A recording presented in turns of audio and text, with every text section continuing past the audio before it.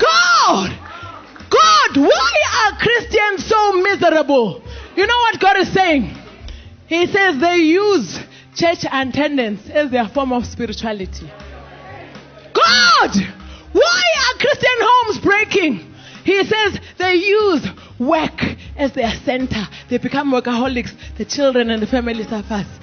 I ask God, why is the church not effective? He says pastors and people are religious. They use their attendance as a form of spirituality without any change. Now you must refuse. Why are people like this? Some they are too money orientated. They are anxious, they are worried. Now I want you to become a balanced.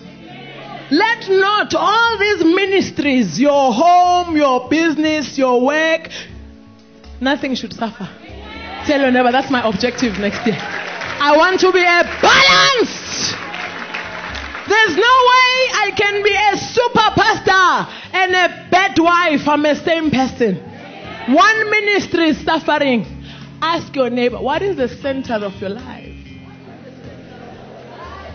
That is, if you want your Christian walk to work for you, you are going to break your home in Jesus' name if you are religious.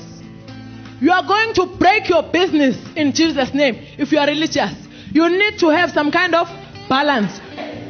You can sit in your corner and see all the wrongs about your husband, or you can stand up and do what you want. Initiative. Because you are not spouse centered. There's balance. If he doesn't want to do it, he's an individual. Hallelujah. Amen. You need to have demarcations. You need to set boundaries. You need to know you have ministries. Have balance next year. You won't have to pray. You'll just be thanking God.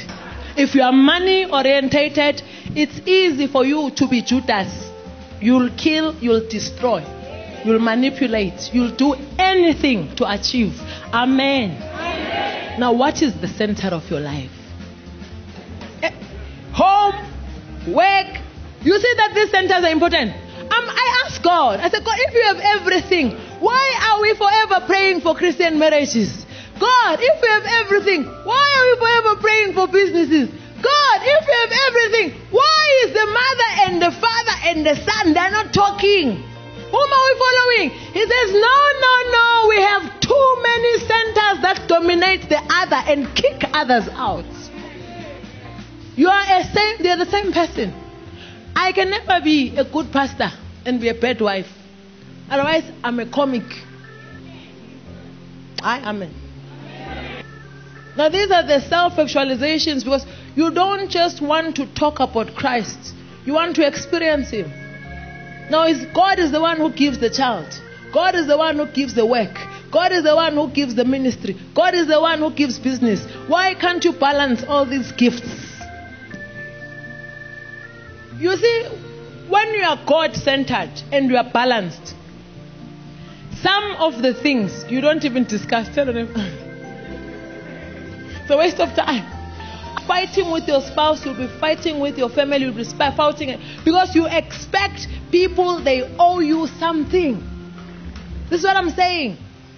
Now, when you are a balanced person, if the person says no to you, it's welcomed. Remember, God is principled, He's got no emotions. He loves everyone.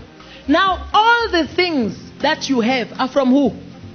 Now, God gets so hurt so when He sees that you are busy chasing dollar when you don't have time for your family. You are busy chasing Him when your family needs Him. Tell your neighbor, laugh at yourself. Ha ha ha.